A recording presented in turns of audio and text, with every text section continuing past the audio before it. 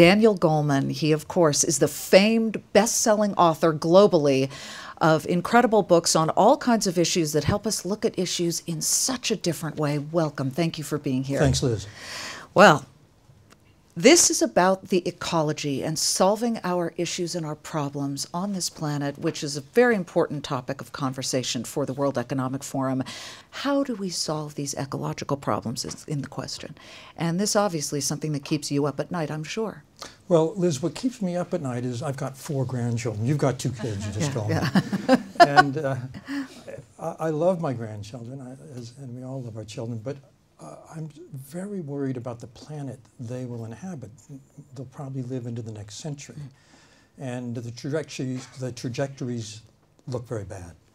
Uh, we're in what's called the Anthropocene age. This is a term geologists now use for the last 300 years of geological time, uh, where for the first time in the planet's history, one species is driving the eight planetary global systems that support life on the planet in the wrong direction. So we need a solution for uh, this planetary crisis, and I think one that will be a little more uh, systemic because, you know, it, this is built into our systems of construction, of energy, of transport, of Everything, industry. really. You can't do a thing without having a negative impact on the planet.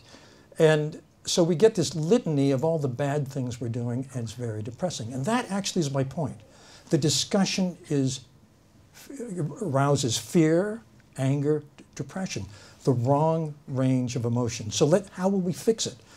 Two ways. One is the solution to a blind spot is transparency. That is, there's a new information system, a platform that will allow companies to share their LCA data. This is very important because uh, if I'm buying from an, in the B2B world, if I'm buying from someone, in terms of my footprint, it will pay me to know what this guy's footprint and what their supplier's footprint is and what their supplier's footprint is. So that's happening. And this, Liz, opens up a vast entrepreneurial opportunity because all of the systems we have, all the industrial platforms, processes, our entire chemical palette are legacy. They're a legacy of a time when we didn't know LCA, we didn't have a metric for what is the uh, f- actual footprint of this. We had Can no way to assess. Can you define one more time for our audience LCA? Yeah, life cycle assessment, Okay. which looks at every step in the over the whole life of a product, uh, and gives you a measure of full spectrum of impacts. And what gets you know in business, what gets measured gets managed. So this opens up a new doorway for the, a huge entrepreneurial opportunity, which is for people to reinvent everything. But the problem is this: there's another psychological dimension, and that is when we talk about footprints, we're engaging the wrong part of the brain if I tell you, you know, the other day I was in the UK and I bought some uh, some salt and vinegar chips, and then I read the the bad news. The first bad news, of course, is there's 14 grams of fat in it, but the, the more pertinent bad news is that it's 75 grams of carbon. That's the wrong way to talk about it because I just did something bad. I added 75 grams to the footprint. When you tell someone that and it gauges uh, a system for threat, the system for emotional distress, the system for fear, for anger, for depression, as I was talking about. What we should be doing is engaging the reward system, the system that keeps us going, that feels good about what we're doing, that motivates us, that where we get enthused, where we get energized. And there is a way to do it. And let's just start with an example. Uh, you and I were talking on the phone, and, and I should tell you that Daniel said if, for example, instead of getting on a jet or instead of getting in a car to go meet face to face with someone, you then Skype, you just lessened or shrunk your carbon footprint. But that's the negative side of it. So, what is a positive way of sort of manifesting this? Well, there's a new way, a new concept emerging. The footprint is all the bad we do. There's something called a handprint. The handprint is the sum total of everything good we do. So, you know, if you bike instead of driving your car, if you take your own bag to the grocery store, if you have a video conference, uh, there's a new math actually that we need to get involved with. If the question is, for example, let's say you buy an e-book reader. Well, how many books do you have to read on that e-book reader in order to justify its ecological impacts?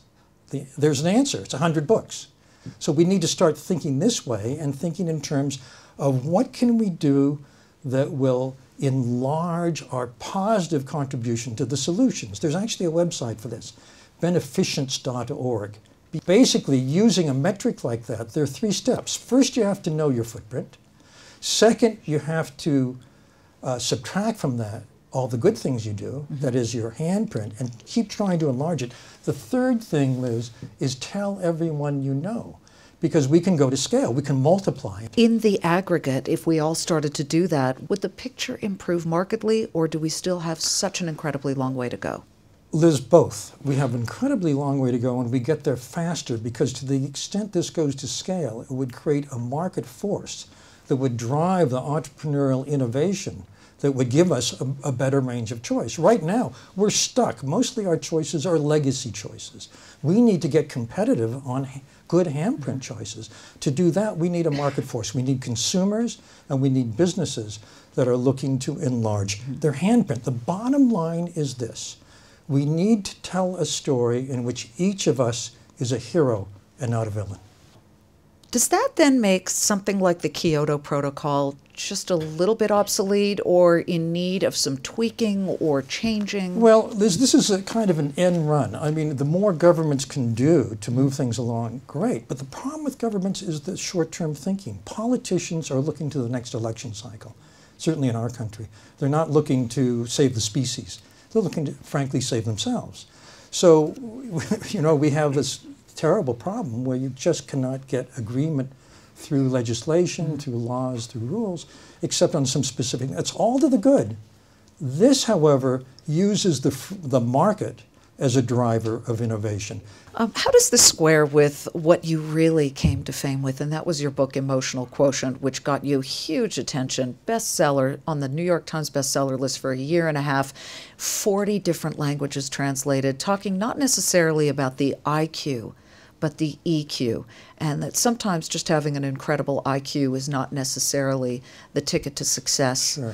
um, but that the emotional quotient mm-hmm. is. If we look at things in a more EQ way versus mm-hmm. IQ as it pertains to the ecology? Well, what I meant by emotional intelligence was being intelligent about emotions. Mm-hmm. And I'm now bringing that same lens to the ecological crisis because I think this is an emotionally intelligent way to mobilize people the, the big problem with every environmental organization, people trying sustainability initiatives mm. in companies, is indifference. And it's, it's because we're talking, the narrative we're giving people uh, is speaking to the wrong brain system. We've got to engage the, the positive reward system. We've got to get dopamine working for us. Uh, hard when you look at, let me bring back what you talked about with the oceans and a gigantic floating mass of, of trash and plastic, which has a shelf life of, of you know, let's just mm-hmm. call it a billion years. That stuff is not going to degrade properly. Um, should this be legislated? You know, there, there, there's always the belief that, oh, the private market will solve this problem. That's not really happening. Should this be government legislated? And does it help if the U.S. does it, but then China doesn't? Well, two points. One is uh, the private market hasn't done it yet. I think the private market is going to for a number of reasons. We didn't talk about generational shift. I, I grew up during the Cold War. My generational trauma was something called duck and cover, which is a drill we had every month in our school uh, where we got under our school desks. Uh, you have to imagine seven year olds, nine year olds. Doing in California. Uh, and we put one hand over our eyes and one over our neck to protect ourselves from a nuclear blast. Luckily, it did not come. Today's kids are growing up with a different generational trauma, and it is the constant litany of bad news about their world mm-hmm. in the future. So, what this says for companies is that there is going to be a new uh, force in consumers over their lifetime where consumers tomorrow will care much more today than consumers today who grew up with the wrong, with the belief that there, you know, it was all endless. It didn't matter what we did.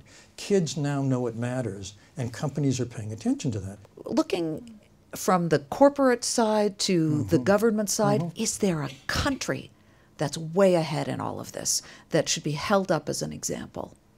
Uh, I think Denmark, for example, Okay. is very, very good at it and has been for a long time. Uh, they've been way ahead, for example, on uh, the, their uh, power grid, a lot of wind, a lot of hydro.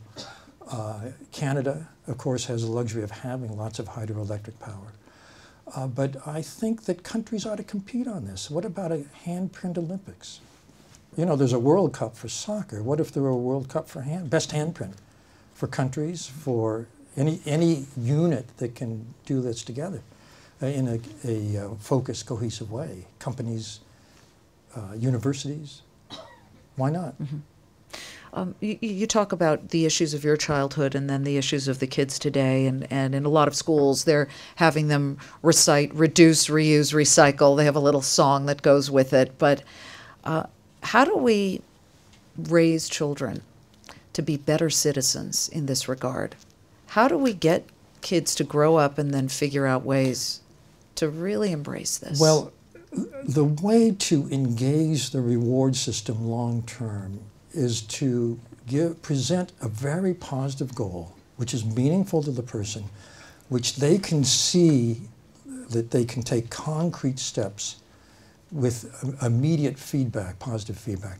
It'd be great if our kids, A, knew what mattered and knew what the alternatives were, B, did it collectively, made it a cool thing to do, mm-hmm. and you, you and your friends are doing it.